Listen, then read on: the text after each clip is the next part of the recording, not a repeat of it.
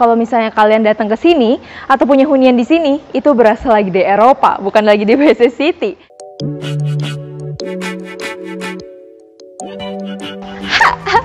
Halo Bright People, welcome back. Aneh ya? Ih, tadi baru lucu banget.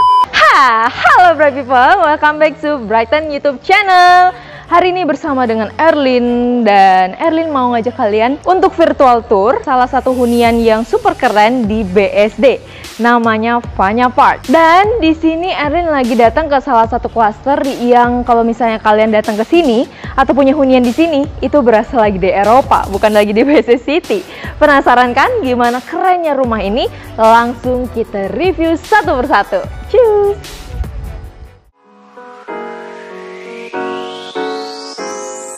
Nah, Bro People, kalau misalnya kita di rumah Alesa dengan pool ini, kita akan disambut dengan satu ruang keluarga atau ruang tamu yang cukup luas, ya kan? Kalau untuk di show unit ini juga untuk penataan sofanya bisa dengan ukuran letter L kayak gini. Nah, di sebelah ruang tamu atau ruang keluarga ini langsung connect dengan satu dining room yang bisa kalau misalnya kita mau buat untuk empat orang it's good atau mau dipepetin jadi misalnya 5-6 orang juga masih enak gitu ya. Dan ini di sini juga ada satu jendela untuk pencahayaan, nyaman banget dan view-nya itu langsung menuju ke carport atau parkiran. Kalau tadi ruang keluarga terkonektif dengan dining room, di dining room ini kita juga connect nih dengan satu kitchen ukuran yang cukup nyaman ya. Karena kalau misalnya let's say kita masak di sini gitu ya kan, kita masak dengan dua jendela yang bisa kita buka nih. Jadi untuk sirkulasi kalau misalnya mau masak gitu ya, bau-baunya bisa kita keluarin ke depan. Terus dengan view pemandangan kolam renang. So, kebayang nggak sih kalau misalnya kita masak gitu kan terus sambil ngeliatin anak berenang gitu atau suami atau istri lagi berenang ya kan enak banget. Dan untuk peletakan space-nya juga luas ya. Jadi untuk alat makan terus juga alat masak dan juga bumbu dapur kita masih punya dapat space yang cukup banyak gitu. Jadi nggak usah khawatir kalau misalnya suka masak, suka menyimpan makanan snack gitu ya, makanan ringan, space-nya juga banyak. Ini selain yang ada di atas juga ada di bawah. Nah, Sebelum kita naik ke lantai 2, di sini tuh memang ada satu ruangan untuk service room, ya bisa juga untuk storage. Nah, ya bro people, itu dia untuk lantai 1 di Alesa House. Jadi untuk overall untuk lantai 1 sih enak ya, karena pencahayaannya dapet gitu ya, sirkulasi udara juga bagus. So, penasaran kan gimana lantai 2? Kita langsung naik.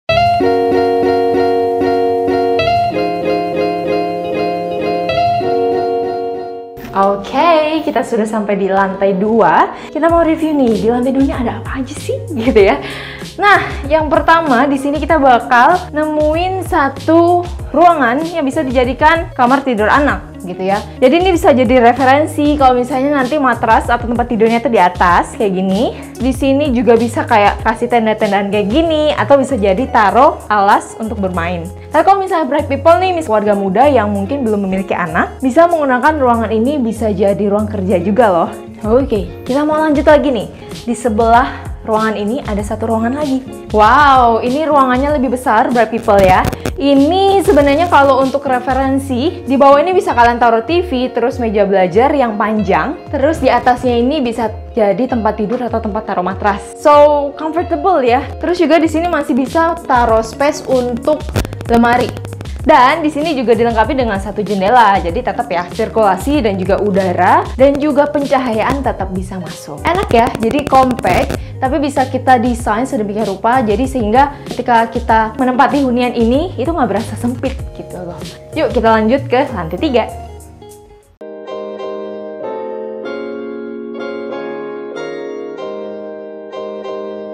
Wow, kita sudah sampai di lantai tiganya. Kita lihat ada apa.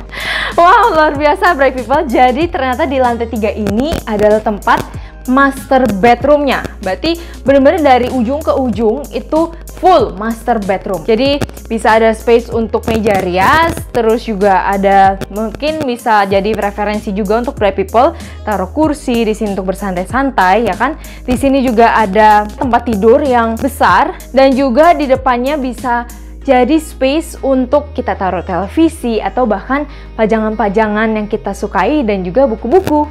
Nah, di sini juga sudah dilengkapi dengan satu jendela yang tinggi, yang luas. Jadi ini juga bisa kalau di show unit ini menghadap ke arah depan gitu ya. Dan kalau misalnya Bright People lihat di sebelah sana, itu ada satu jendela besar yang menghadap ke kolam. Keren banget. Nah, di sini juga ternyata masih ada space nih Bright People ini bisa jadi meja rias kita. Meja riasnya cukup gede ya. Dan di sini juga untuk bapak ibu yang suami istri nggak usah khawatir karena space untuk menaruh baju atau perhiasan atau bahkan aksesoris lainnya masih cukup di sini. Dan di sebelah kiri saya juga ada satu kamar mandi yang cukup luas. Ada shower, ada toilet dan juga wastafel. Dan itu dia Bright People untuk lantai 3. Nah, Bright People, Erlin sekarang lagi berendam di swimming pool yang tadi Erlin udah bicarakan. Nah, jadi Erlin tadi udah review, ngajak teman-teman Bright People untuk virtual tour. Gimana sih show unit dan kerennya rumah Alessa di Fanya Park Besti City.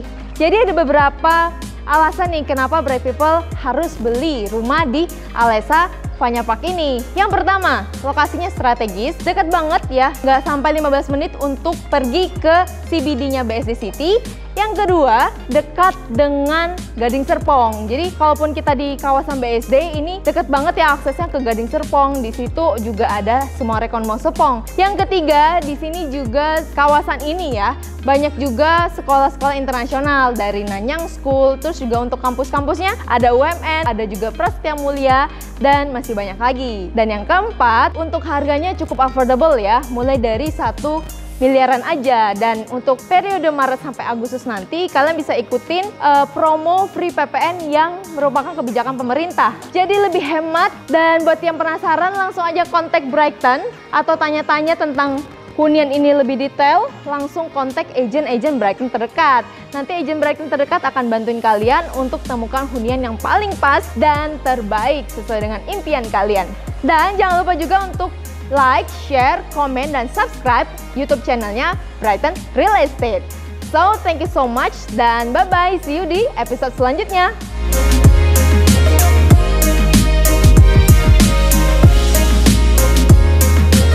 Sudah menonton video ini. Semoga bermanfaat dan menginspirasi. Jangan lupa juga untuk klik subscribe ya, karena subscribe itu gratis, gratis, dan gratis. Dan jangan lupa juga untuk kasih like dan kasih komen kamu di bawah ini ya, karena komen kamu membuat kami untuk terus termotivasi membuat konten-konten yang menarik. Sampai jumpa di episode selanjutnya.